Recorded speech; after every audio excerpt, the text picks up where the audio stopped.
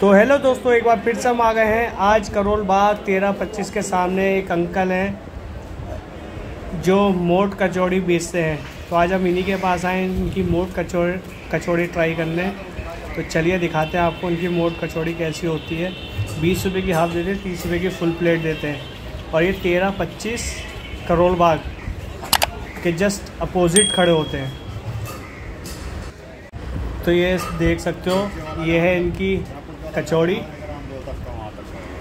और ये जो पतीला है, इसके अंदर है ये मोट दाल। और साथ में चावल और ये प्याज मसाले वाली। ये राम अवध जी हैं, जो मोट कचौड़ी बेचते हैं। तो दोस्तों, ये लग रही है हमारी अब मोट कचौड़ी।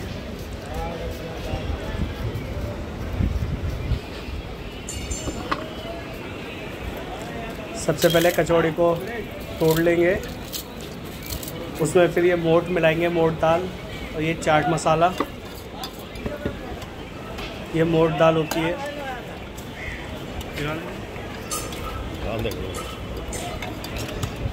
इसको अच्छे से मिला लेंगे। हम्म।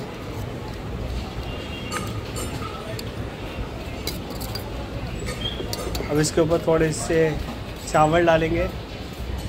बॉइल्ड बॉइल्ड चावल है वो।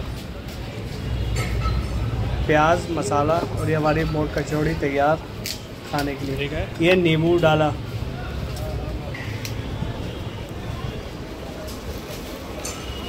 दोस्तों जब भी आप इनकी दुकान पर आए तो 11 बजे से सुबह 11 बजे से लेकर रात साढ़े आठ बजे तक ये मिलते हैं आपको।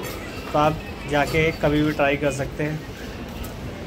तो चलिए हम ये ट्राई करते हैं। मिलते हैं आपसे अगली वीडियो में। तब तक के लिए ख्याल रखिए।